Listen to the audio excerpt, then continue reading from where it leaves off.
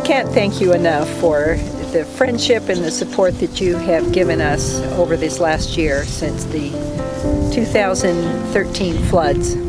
Uh, we were hit pretty hard, and um, recovery wouldn't have been possible without uh, your support, uh, helping us get ourselves back in a place where we could actually open as of June.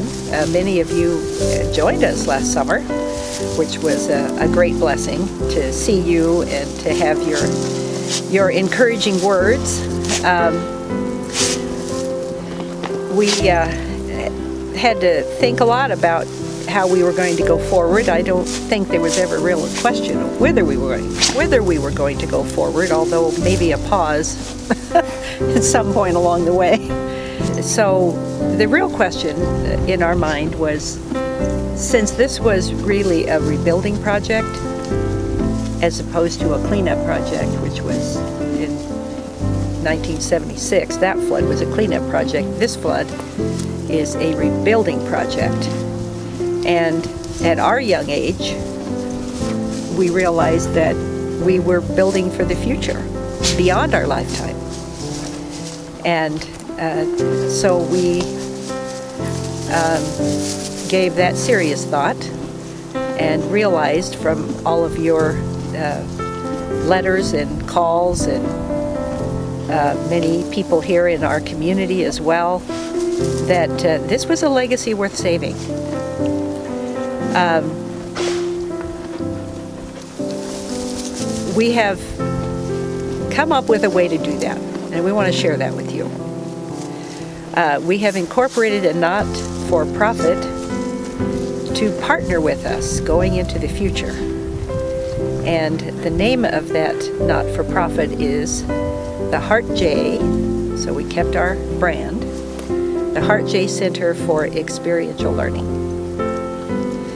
That is a very broad statement, experiential learning, but uh, um, it uh, will focus everything we've done in the past regarding our Western lifestyle and sharing horses and cattle and, and uh, cowboy music and cowboy logic, all of that, plus expanding the learning opportunities into other areas, um, uh, science and art, uh, all the uh, all the opportunities that are here in our 3,200 acres to learn.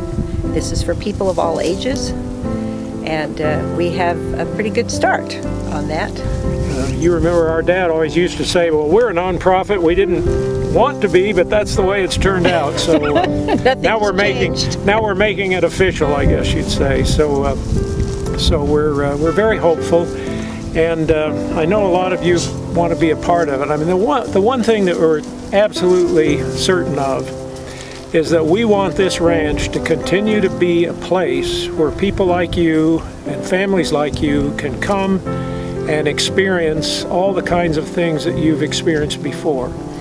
And uh, we're not getting any younger, so we're looking for a way to uh, extend that experience into the future and to keep this ranch around for future generations. And our hope is that the Heart J Center will become uh, strong enough and well funded enough that it can take over and own uh, at least parts of the buildings and grounds here at the ranch and be able to continue this long into the future.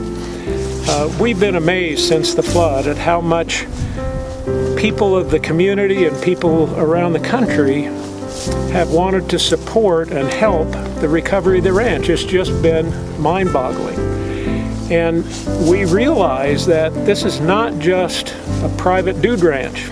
This has turned into a kind of a community institution. And the community has been so generous in trying to keep us going that we see the Heart J Center as a way to give back to the community in the future and will hopefully, if it's successful, extend this uh, way into the future long after we're gone. That's our hope and we want to offer this opportunity for you to be a part of that. And the way you can be a part of that is uh, making some contributions. We have to raise an endowment. We have to raise some uh, capital building funds. And the Heart J Center is the way for you all to become a part of this future, which we so much treasure and want to continue. Right? Right on. Okay. So thank you so much again for your support in the past and your support in the future.